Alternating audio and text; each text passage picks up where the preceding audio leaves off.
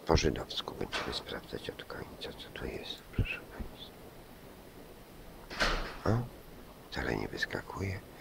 Wiwus to jest chyba naj, największym oszustem wszechczasów. Nawet tu nie miałam nigdy pożyczki. I po prostu, proszę Państwa, oni potrafią zrobić tak, że nie miałaś nigdy tam pożyczki i dadzą Ci taką informację, że od 8 sierpnia zgłoś się.